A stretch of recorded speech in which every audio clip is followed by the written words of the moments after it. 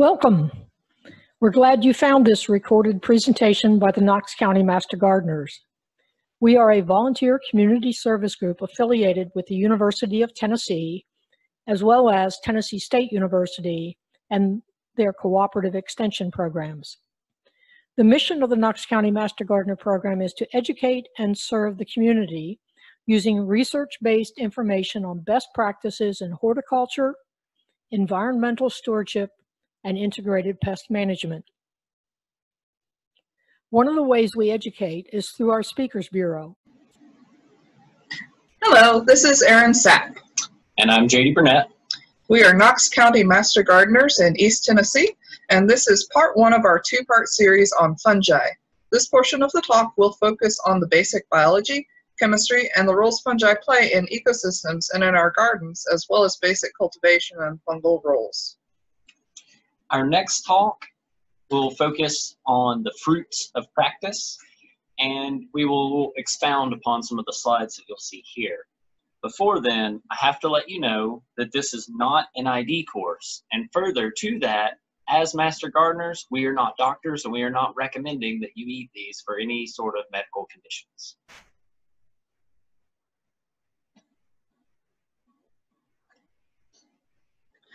To continue that disclaimer, mushrooms can be dangerous. They are much harder to identify than a lot of plants. Uh, we definitely recommend seeking a professional source for identification purposes, and uh, we'll be providing a couple of resources for that at the end of this talk. You can also join groups if you want to learn more about mycology and mushrooms in general. The closest one to here is the Cumberland Mycological Society. I've provided a link for you down below. Um, but basically, you know, we're not recommending anybody go out in their backyard and just take a bite out of anything that they find. We're helping you to grow some of the more commonly cultivated mushrooms and, and giving you a little bit more basic advice. So as we get started, this is just going to be the basics of fungi. I'm going to talk to you a little bit about fungal evolution, um, and then we will also be talking a little bit about some of their um, various uses in our world. This is the phylogenetic tree of life, and it displays the three domains. Each one of these different colors displays a different group of organisms that are characterized by certain elements. Um, we've got bacteria to the left over here, doesn't really need a ton of explanation, and it would take quite a long time to do so archaea in the middle. That tends to be your extremophiles. These will be uh, some creatures that live by volcanic vents deep under the ocean. They might um, live around a uh, hot spring in Yellowstone. And then on the right, we have eukarya. And eukarya includes humans. We're in the animals collection over here. Um, and so are considered eukaryotes. And fungi are also eukaryotes. You can see that we're actually all on the same little branch over here, animals, fungi, and plants, were called macroorganisms. And if you were to zoom in on this little branch, you would see that animals and fungi are actually even closer related to each other than we are to plants. Um, fungi are definitely closer in appearance and behavior to animals than they are to plants in a lot of ways. And, and actually one of the, the main ways that I've heard to differentiate is that animals will digest their food on the inside and fungi digest their food on the outside. So while we use all of our stomach acids to break down different nutrients, um, fungi will actually release various compounds in order to break down their food and then absorb it once it's already digested. Here we have the taxonomic tree on the left and you can see it starts at the top with the most non-specific and ends with species, the most specific. Uh, on the right, we've got just a good example of hierarchical classification, um, starting with kingdom and getting down to the species. And you can see there are specific um, word endings for each one of these in order to tell you what someone's talking about if you were to hear this in a, uh, in a bit of text or, or um, in a talk a lot of the time in the fungi kingdom, you will find that uh, people do not have common names for a mushroom or for a fungus, and so they will use the Latin rather than any, any common name. And this is much more frequent with fungi than it is with plants. So it's a good idea to have at least a grasp of how this works. Basically, you start out with the genus, that's usually the uh, capitalized word at the beginning, and then you have the lowercase word, which is the species. And that is how you'll know the difference between this agaricus and the other 500 agaricus out there. There are five fungal phyla, and these are basically just the five main categories of fungus that are out in our world. Um, we're not talking about lichens today. Lichens are actually not specifically fungus. They're a, a symbiotic relationship between uh, usually a fungi and something else. Um, so we're not going to be talking about lichens today, but we start out at the top here with Chytridiomycota. These are the chytrids, and these guys are um, pretty fascinating if you were to uh, take a little time to look them up. But we we have so much uh, data already to share with you today. We're, we're not going to get deeply into these.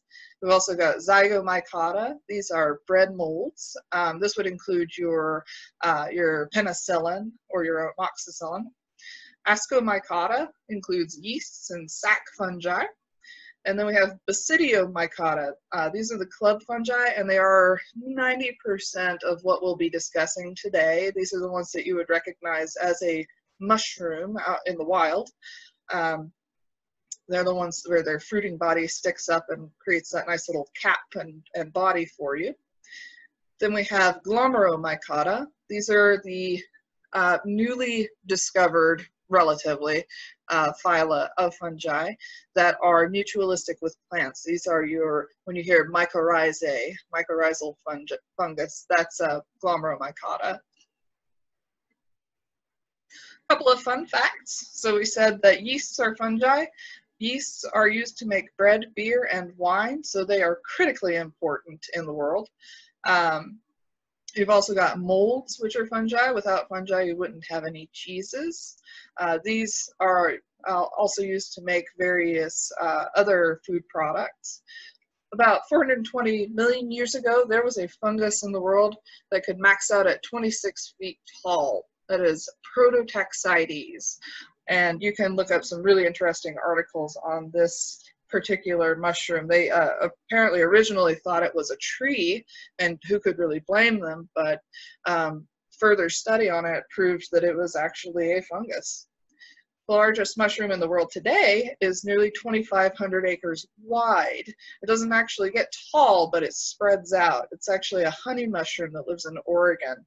And it's a parasitic mushroom, at least as we think of parasitic today, um, although there is some argument with that since it's been in place for quite a long time and the forest that it lives in hasn't been totally destroyed. Let's touch on some basic biology of a mushroom. In picture one on the left, you will see up in the top the reproductive structure. This is the mushroom body that we're all very used to. This is actually the, again, reproductive structure, the reproductive organ, and that is what will release spores. Those spores are how mushrooms reproduce sexually, but mushrooms can also reproduce asexually via cloning. The mycelium or hyphae, you can see in picture two there. Um, if you've ever been digging through your garden soil or some wood chips, you've probably found this white stringy mush, uh, mycelium not all mushrooms have this white mycelium. Some of them are brown rot, some of them are black rot. Some of them you might might just not see. Orange, I think, is another color. But back to the cloning ability, what is so amazing about these mushrooms is that they are totiplurent, meaning one cell can make hundreds, maybe thousands of different cells, versus whereas most human cells or stem cells from humans are pluripotent, meaning they can only make a, a small handful of different cells. It's also worth noting, and we'll talk about this as we continue on, the animal-like behaviors of mushrooms. They respirate, they eat, they do all sorts of things that we would normally attribute humans or animals to. Maybe the way that you know mushrooms best is through medicine. We derive most of our medications from fungi. You're probably most familiar with penicillin and amoxicillin. It's actually interesting that I forget if it was World War One or two, but there was a, a, trade problem between the United States and Germany, and we could not get what at that time was considered the world's sample of penicillin. So the researchers here in the United States needed to come up with their own strain of penicillin or at least sample it so that they could test it on some things the story I heard was that it was growing on a cantaloupe in the staff kitchen, and they isolated it from that. And ironically, they found that it was much more potent and active against some of the diseases that we use penicillin for today. I want to also mention some other ones that you may or may not be familiar with. Um, I am not very good at my Latin pronunciation, so I rather than try and give you some gobbledygook, and what a lot of other people do is chaga, for example, will be listed as I O. Reishi might be listed as G L. Lion's mane is H E. Turkey tail is T B. So chaga, it has really strong antiviral capabilities even shows effectivity against herpes simplex virus, HIV. It's, it's very potent. Reishi, another powerhouse. I believe there's something like 400 compounds that they extract or derive from this mushroom that have pharmacological benefit. This is really commonly used as an anti-carcinogen. If you're uh, doing some sort of chemo treatment or experience radiation, it's shown helpful helpfulness there.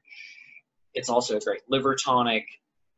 Reishi, at one point in time in ancient China, a commoner would have been blinded for looking at this or put to death for touching it because this mushroom was such revered and only reserved for the king. Lion's mane, probably one of my favorites. It is currently being researched for uh, Alzheimer's and dementia. They have created drugs from it um, to treat neuropathy. It helps stimulate nerve growth factor and it remyelinates the sheath of your neurons. And finally, turkey tail mushroom. This one has shown really great effect uh, against breast cancer. Paul Stamets has a great TED talk where he actually talks about his mother being treated for breast cancer with this turkey tail extract. Um, what they're extracting is commonly called PSK. I believe that they may also extract PSA. And PSK is our number one anti-cancer drug that, that they prescribe. The list goes on. You'll see in our references the MycoMedicinals book and mushroomreferences.com. I just want to mention that this mushroomreferences.com is run by Paul Stamets and it is very accredited and good source. Uh, briefly here, um, I just wanted to talk a bit about some commonly grown mushrooms, just to give you an idea of the, the width and breadth of what you can grow for yourself in your own garden or in your own home. There's a wide variety of mushrooms that are far easier to cultivate than you might imagine. Uh, and I've got these nicely numbered so that we can go through them. I'm going to give you the common name and the Latin just to keep up with a good practice, a good habit. And um, because one of these is uh, particularly interesting to do with the Latin. We're going to start out here at number one. This is portobello, and doesn't that look delicious? Um, this is Agaricus bisporus. It is widely used uh, in fancy restaurants and in homes throughout the U.S. We've also got number two, that's an oyster mushroom. This one's actually specifically a pearl oyster. There's a lot of different kinds of oyster mushrooms out there, and they are a fantastic beginner mushroom. They're super simple to grow. They come in a huge variety of colors, so you could actually get you a rainbow of oysters if you wanted to. That also makes it a pretty good starter set for um, children if you're interested in uh, teaching them a little bit more about mycology and mushrooms in general. Number three is, oh, I'm sorry, and that was Pleurotus ostreatus for oyster. Number three is the button mushroom. And this is actually a, a little bit of a joke on us. The button mushroom is just an immature portobello mushroom. So three and one are the same Latin name. This is Agaricus bisporus again. Number four is lion's mane, um, which JD spoke a little bit about already. It has those strong neurological benefits. Uh, one fun thing about lion's mane is it actually tastes quite a bit like lobster, at least uh, to a lot of people. Uh, so very popular culinarily. You can find this uh, often enough at uh, farmers markets. And it's a lot of fun because sometimes you'll be out hiking in the Smokies or somewhere and you'll come across just this white pom-pom looking thing hanging off of a tree, and that's lion's mane. It is Hericium erinaceus. Number five is shiitake, which a lot of us have probably had in, in various dishes. It's pretty popular in a lot of different cuisines. Uh, Lentinula edodes is the name for shiitake. This is also a very easy one to cultivate for beginners because it is uh, particularly popular and easy to grow in log cultivation. Number six is enoki. This is extremely popular in Asian cuisine. The Latin is Flammulina velutipes. Um, I've actually had this used in ramen around town at a restaurant, and it was absolutely delicious. It's got a really interesting texture because of all those little pins coming off. Um, and I would definitely recommend any, anybody that wants to try that out, give it a give it a whirl. Number seven is Chicken of the Woods, and this one isn't necessarily grown so much as it is um, pretty widely distributed. You'll, you'll find it pretty frequently mentioned in um, mycological forums. And it is pretty recognizable. There's a couple of lookalikes, so you do still, of course, want to practice the great habit of uh, seeking professional sources. But you can tell it's got this beautiful fan pattern to it, that bright, bright orange color. The Latin for it is Laetiporus sulphureus. And this one is actually uh, in its uh, flushing period right now, so you may even see some out while you're walking in the woods in Tennessee. The genius of mushrooms. So we're going to look at two two things that I find pretty amazing about mushrooms. If you notice this graph here on the left, it's it's a map actually of Tokyo. Uh, you notice that you've got zero hour, five hour, eight hour, 11, 16, and 26. This orange yellow dot in the middle, that's a slime mold. Uh, the name is escaping me for, for what it is. Doesn't actually matter that much. And then these little white spots, these are all nutrified grains. They have been set up in relative location to mimic the Tokyo rail system. So you can see this, this orange area is their central hub. So as the central hub of this slime mold begins spreading out, you see it over here on this uh, D 11 hour column. It's, it's almost covered everything. And by 16 hours, we're at 99% coverage. By 26 hours, not only has it completely covered the entire petri dish that this is in, it's also begin to restructure and reorganize its pathways. You'll notice that up here at the top. What was interesting was that as the slime mold was restructuring itself, it was increasing the efficiency of its own nutrient transport. So it could move these nutrients from, from where its source of food was all the way out to its growth tips or growing area. Well, the Tokyo researchers thought that this was really fascinating and they saw a parallel between nutrient transportation and the transportation of people. When they redesigned the railway system, they were able to increase its efficiency by 300%. That's wild. Biomimicry, learning lessons from nature and applying them to real world, real engineering, real applications.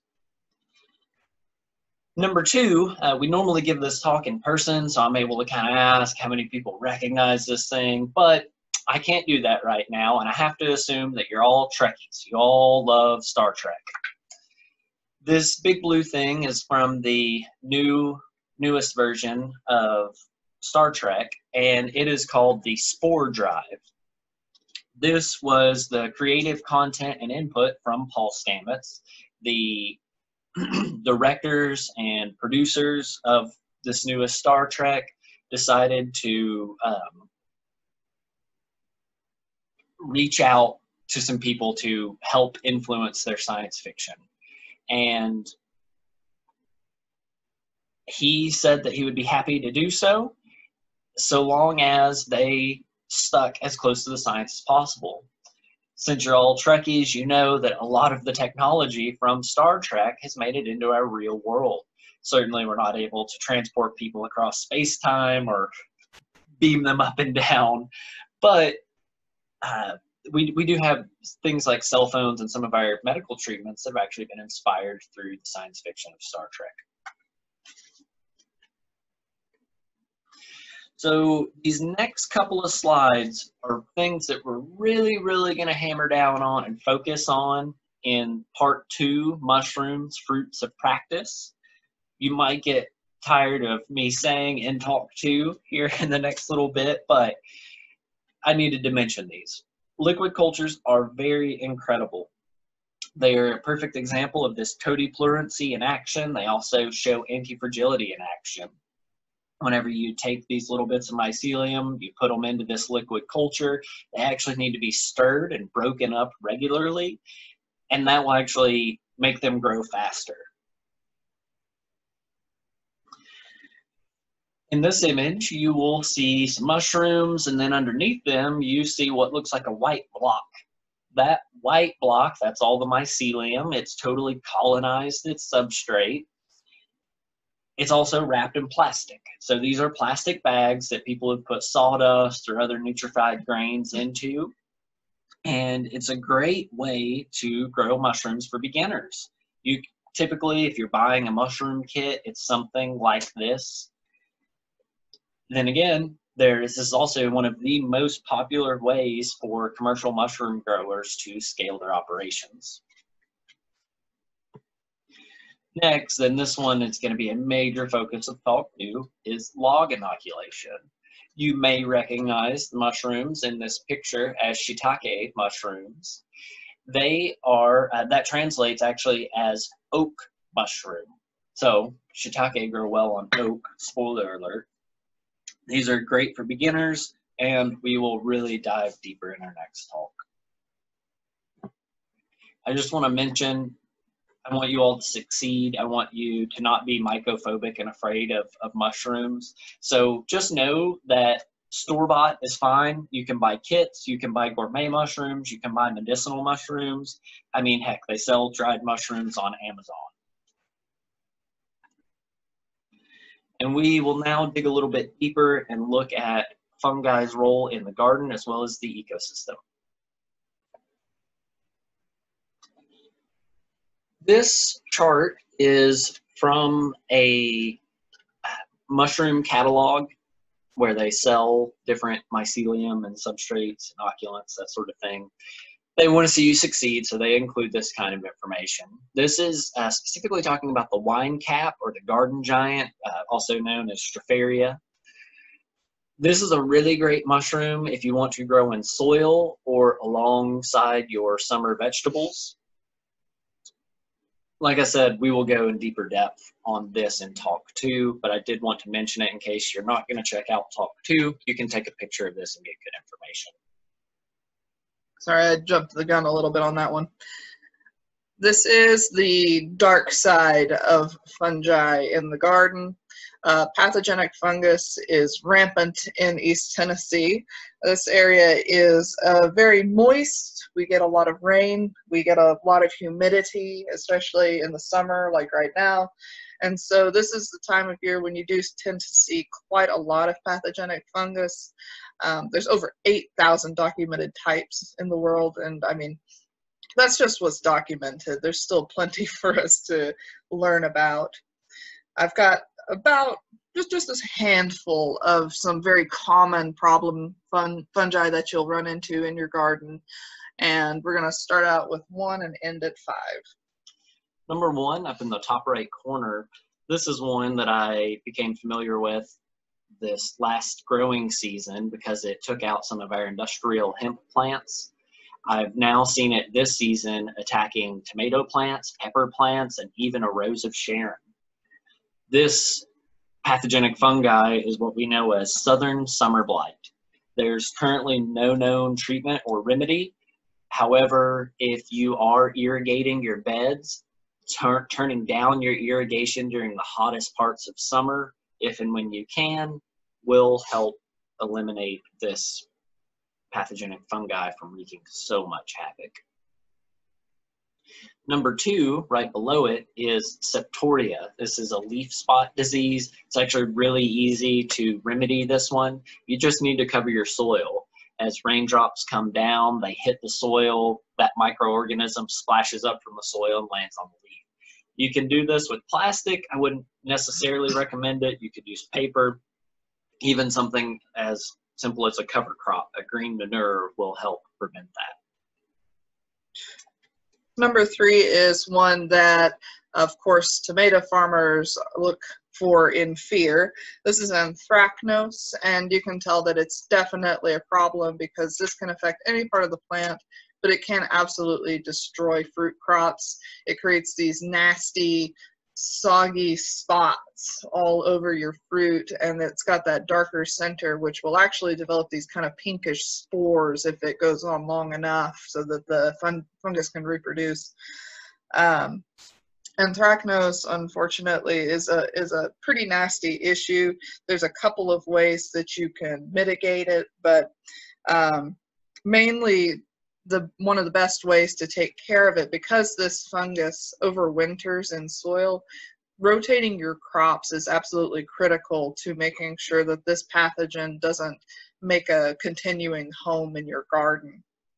You can also help your plants by keeping fruit off the soil. I know a lot of us get big fully fruited tomato crops and those fruits will actually start to drag the ground. If you can prop them up off the ground, if you stake your tomatoes, that'll help with this problem. It is also very helpful to water from the base, which any gardener knows you, you should do that anyway. Try not to water over top of your plants. It can, it can cause a lot of trouble with fungus. Uh, number four is damping off. And this one I'm actually uh, this was the very first time that I came in contact with a fungal problem in my garden. I lost an entire tray of seedlings to this and at the time had no idea what it was. Um, you can see what the, the symptoms are is basically you get your seedling and it, it pops up and then it just seems to pinch off at the very base and falls over and dies. You can help with this by practicing good hygiene. You, you clean your tools and your hands, especially if you've been using your tools on other plants. Uh, that can help. You can also make sure that you're using appropriate seed starting medium that drains well because any kind of standing water, uh, lingering moisture in your um, seed trays can create this problem. It also is very helpful to make sure that your lighting is very good for your seed trays and of course that you avoid overwatering. Number five is cedar apple rust. And this one is, is a, just a great example of how diverse fungi can be. You can see this little alien looking orange tentacle monster hanging off of this cedar branch here. Um, this does affect apples and cedars, and so it's a, a, bit of a nightmare for farmers who are looking to uh, make a profit off of their crops. It affects the cedar tree with these galls, and they can become so full and heavy with these galls that it actually looks like they've been decorated for Christmas from further away. And then on apple trees, it'll develop these rusty kind of yellow orange spots all over the tree, all over the foliage and the fruit and it rarely kills trees, but it does make for a, a, uh, a lower fruit um, uh, development. And there's not a ton of ways to treat it because the problem is so well established. We have so many wild cedars and wild apple trees. And as long as they're within a, a mile or two of each other, there's the chance that the infection, the infection can spread through the spores.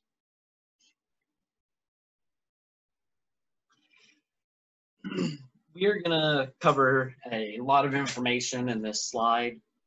This is an ode to mycorrhizae, the good mycorrelationship, mutualistic relationships, and more. In the top right corner, you'll see two images of a corn plant, one with all this white fuzzy stuff at the roots, and then one without it.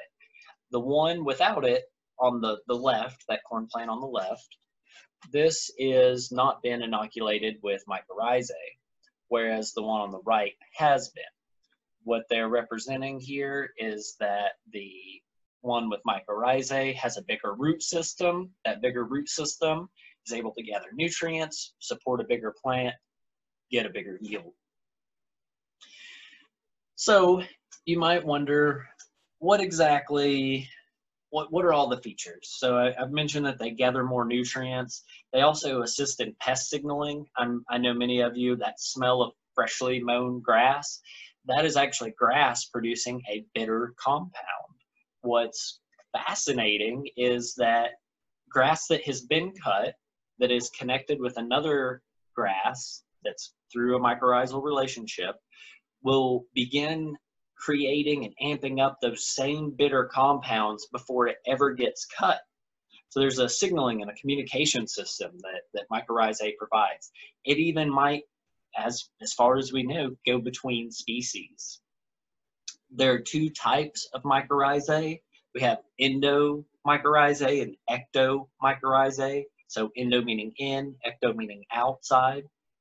And yes, endomycorrhizae will go in between the cells of the plant and colonize some of the living tissue within inside the plant.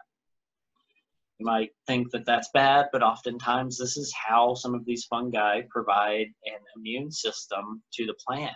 They are able to produce compounds quickly right where they're needed some of the mycorrhizal relationships that you might want to try and cultivate yourself. Garden Stropharia, the garden giant, it, it grows great in our summer crops. It establishes a relationship with many of them, such as corn, tomatoes, peppers, okra. One for your brassicas is called the elm oyster mushroom. And this is really neat because for the longest time, and, and maybe only in the last 10 years, they thought the brassicas could not establish a mycorrhizal relationship. Well, we found out that they can, and science has further told us that they might have some relationships with endophytes. We'll talk a little bit more about those just here in a second. I also want to mention for all you blueberry growers out there, the ericoid mycorrhizae. One study that they did, they actually took a uh, very alkaline soil.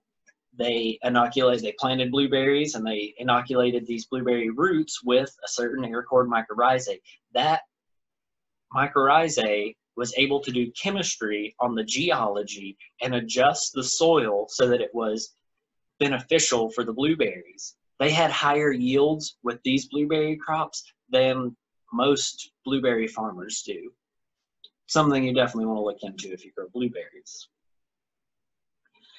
I mentioned the endophytes a moment ago.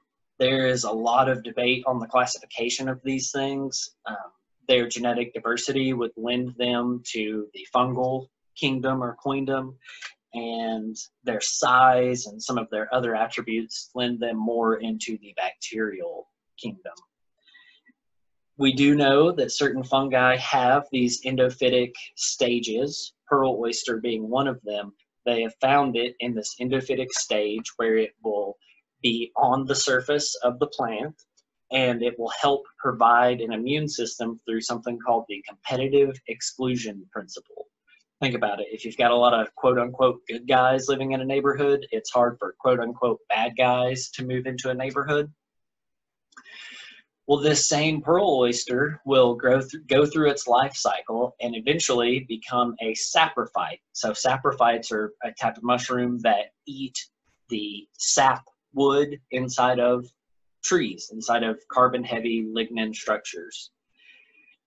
So it begins to, you, you look at this and you begin to wonder, wait a minute, this fungi, the same one fungi provided an immune system, helped this plant out, made it big, strong, giant tree of the forest, and then in old age it began to eat it.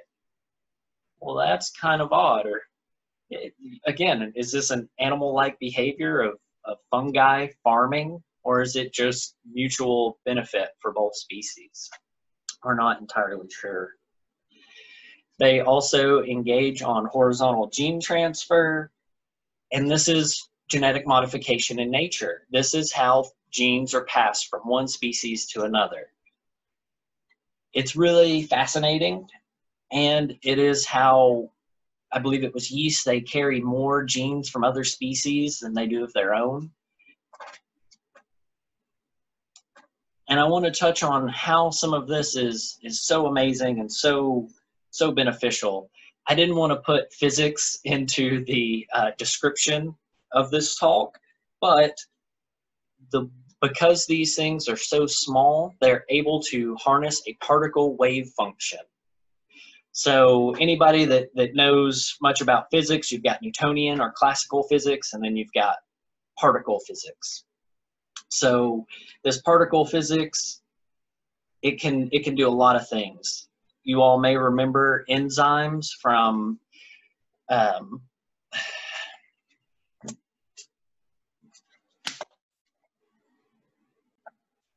I'm sorry about that. I had a little bit of technical difficulty.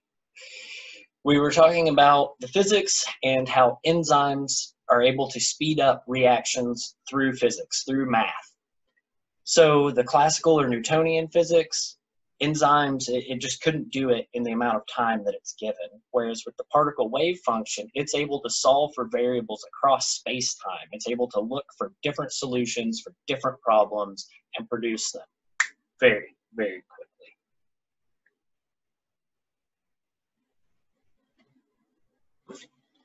All right, we are nearing the end of our talk, but I wanted to share this particular image because I think it, it really encapsulates a, a part of the fungal community that we don't often get to see.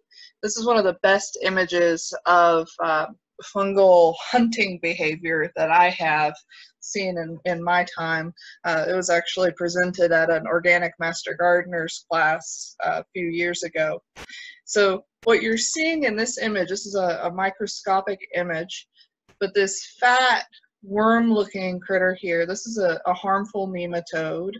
And what you see beneath it, this whole white field, and then the extending little tendril is all a mycelium. So this, this mycelium is extending a hyphae that is capturing the nematodes so that the fungus can consume it as food. And in that way, this fungus has a mutualistic relationship with the tree, pro probably the tree's roots that they're living under, and is protecting the tree simultaneously from these harmful nematodes. So this just really goes to bring home the point that if your garden has a healthy population of beneficial fungi, they can crowd out and actually police the bad fungi in the soil. We've got some great resources for you here at the end of the talk.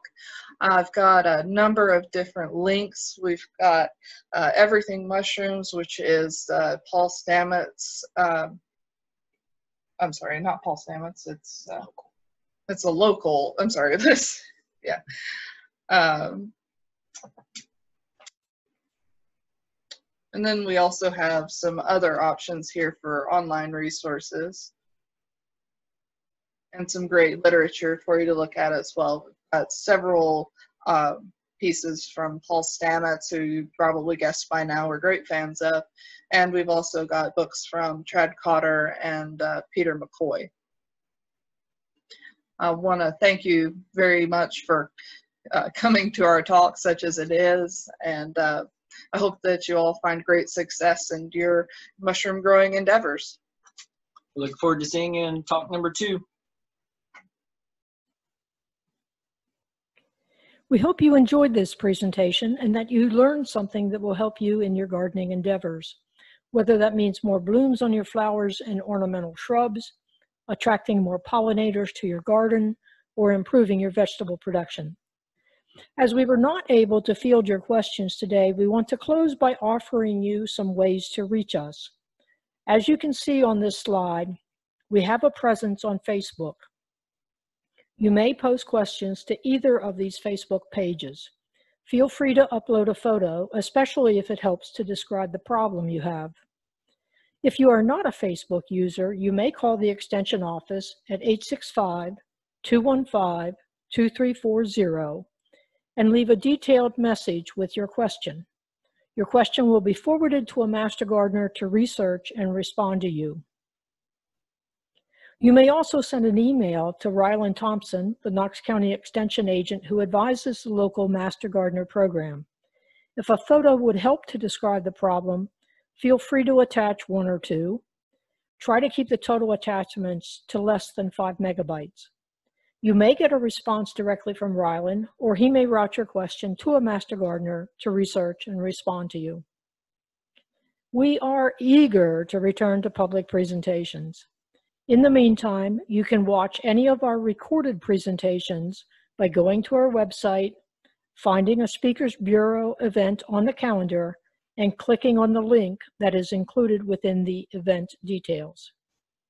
Now, let's go get some dirt under our fingernails.